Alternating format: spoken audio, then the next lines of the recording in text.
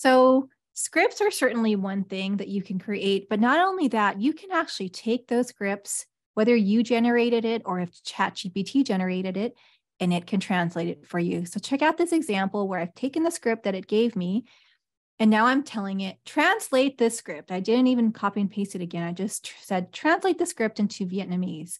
And do you see how it not only is translating it, but it's also adding those um, marks above and symbols above the letters? Well, I told it, well, hold on a second.